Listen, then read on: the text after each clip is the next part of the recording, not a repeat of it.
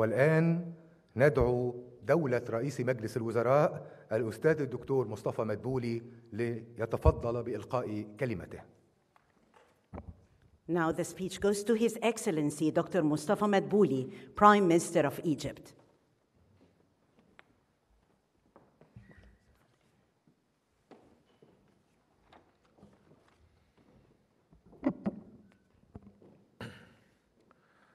بسم الله الرحمن الرحيم.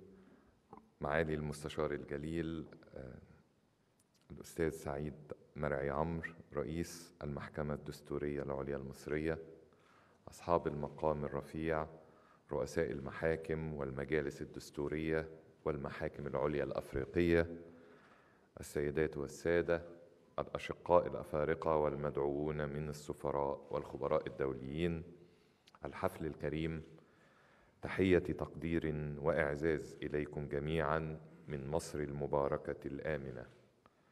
بالنيابة عن فخامة الرئيس عبد الفتاح السيسي رئيس جمهورية مصر العربية راعي اجتماع القاهرة الرابع رفيع المستوى لرؤساء المحاكم والمجالس الدستورية والمحاكم العليا الأفريقية وبالأصالة عن مجلس الوزراء يطيب لي أن أتوجه بالتهنئة لاجتماعكم الموقر على ما حققه في دوراته الثلاث المنقضية من إنجاز مشهود في سبيل توطيد أطر التعاون القضائي بين دولنا الأفريقية إعلاء لمبادئ العدل والحق وسيادة القانون التي ننشدها جميعا لشعوب قارتنا الفتية.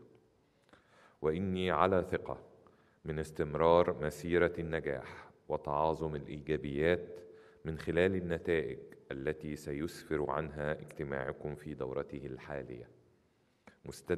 مستندا في ثقتي تلك إلى خبرات مميزة لنخبة المشاركين في هذا المحمل محفل التنويري يدعمها نبل المقصد ويحوطها سمو الغاية ويعززها أمل مشروع في مستقبل بهي تستحقه أفريقيا.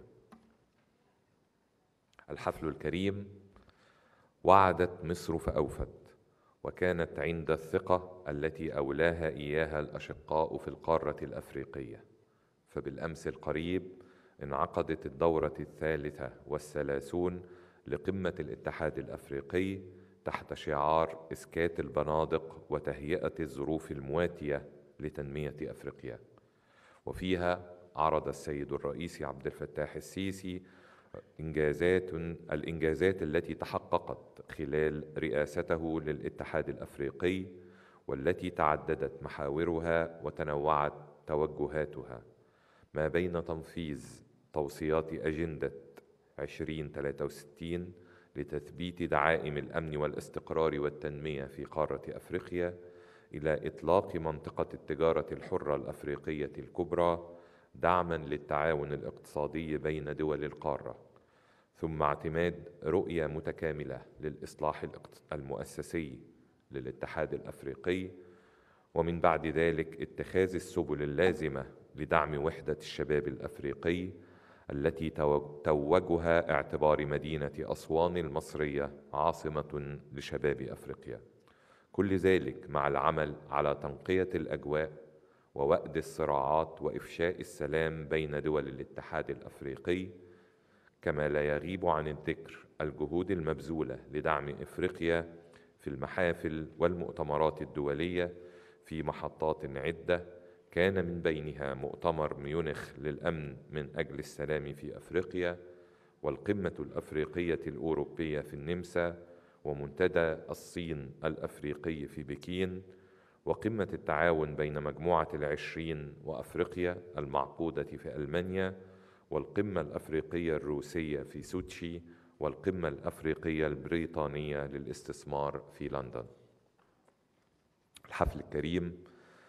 ختاما فإني أستلهم فيما ذكرت من من إنجازات الاتحاد الإفريقي في دورته السابقة روح التحدي والمثابرة التي أوقن أنها تشكل الأساس الراسخ لعمل المشاركين في اجتماعكم الواعد وأتطلع مع شعوب أفريقيا إلى حصد الثمار المرجوه منه املا أن يصفر عملكم الدؤوب بغايته النهائية محققا العدالة والتنمية المستدامة والسلام لأفريقيا كلها.